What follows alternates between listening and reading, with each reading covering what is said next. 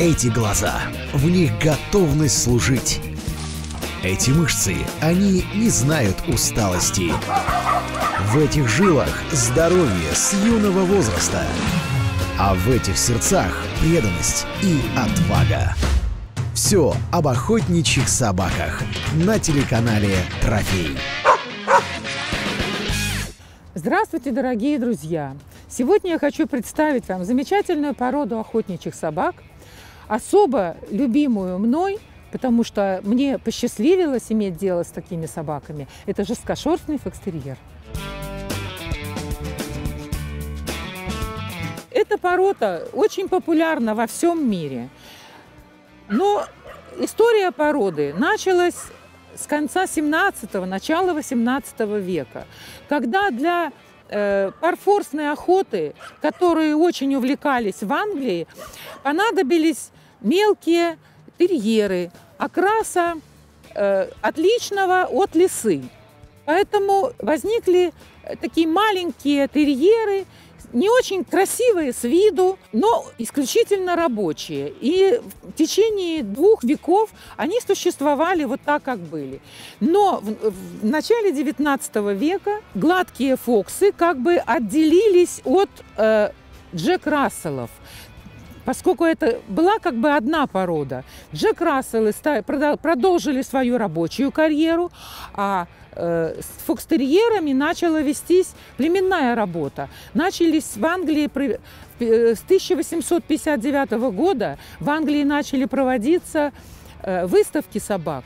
И чтобы участвовать в выставках, часть вот этих рабочих собак стали усовершенствовать в смысле э, более, более элегантный вид им придавать, внешний. И постепенно, постепенно фокстерьеры стали более высоконогими, более высокопередами, более элегантно сложенными. И в 1875 году случился переломный момент, образовался клуб фокстерьеров – и отделились, отделилась гладкошерстная разновидность от жесткошерстной разновидности. Э, потому что изначальная исходная э, вид, форма фокстерьера – это гладкошерстный. Происходят эти собаки от, э, вернее, участие в создании этой породы принимали старые английские породы собак.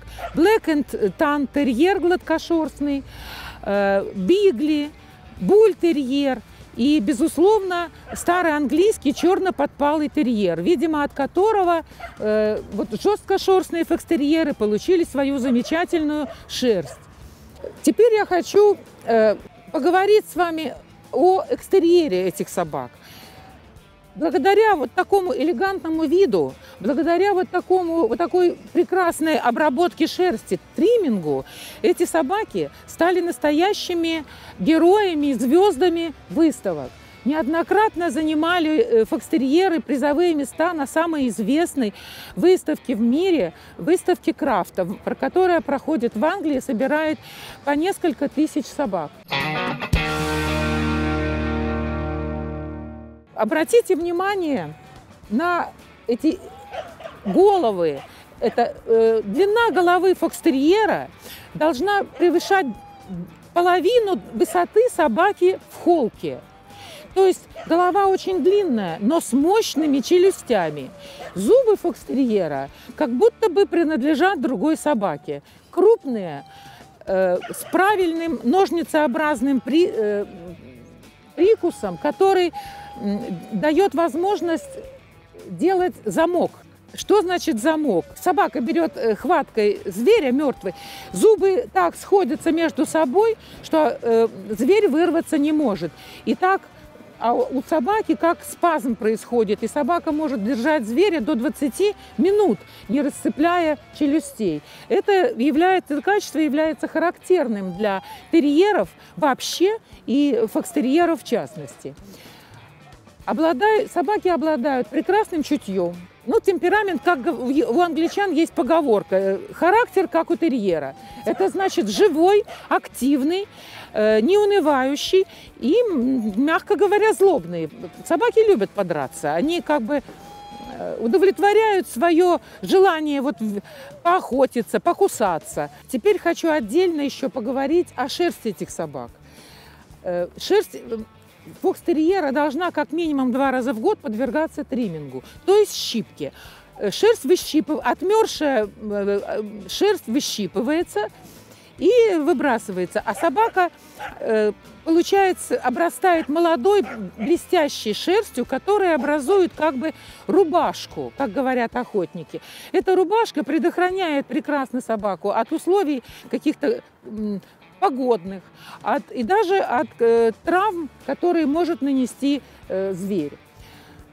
Кроме того, он придает собаке вот такой, этот триминг придает собаке вот такой законченный, совершенный вид – глаз оторвать от фокстерьера, как от огня, э, воды, э, как говорят, невозможно. Это собака вся огонь, движение и энергия. Это сгусток энергии в малом объеме.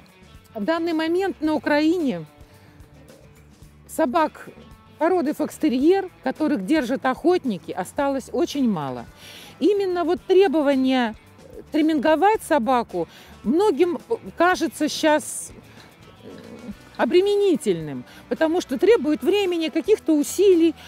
А, проще взять знаете, какую-то собаку, которую не нужно треминговать, и идти на охоту.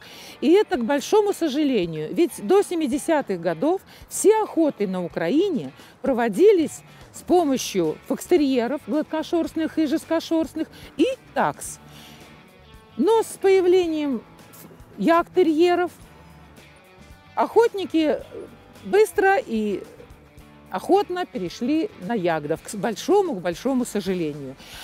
Потому что охотничьи качества фокстерьеров, они остаются как, такими же, какими и были, которые сохраняются уже не один век.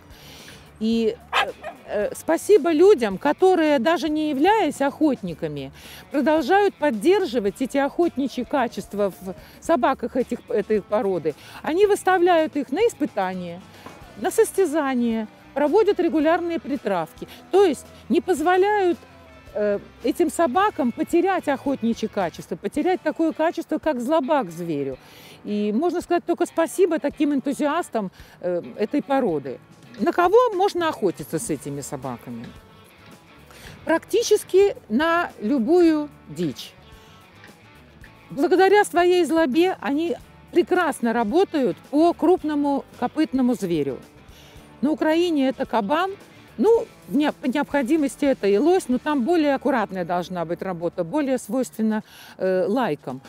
А кабан самый как бы распространенный э, крупный зверь на Украине, вполне э, доступен фокстерьерам. Они со своей злобой его прекрасно держат на месте, особенно если работают парой.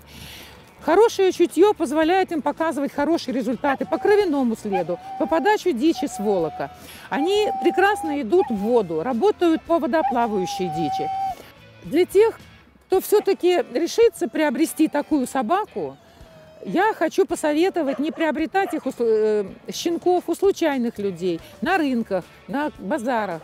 Э, обращайтесь в общество, в клубы и системе в системе Кинологического союза Украины или Федерации охотничьего собаководства. Документы, которые вам выдадут с этой собакой, будут легитимны. С этими документами вы сможете выставлять свою собаку на выставках, испытаниях, состязаниях и, или даже просто участвовать в охоте. И в заключение я хочу поблагодарить Татьяну Стебунову с, ее питомцами за участие в нашей передаче и вручить от телеканала «Трофей» вот такой презент.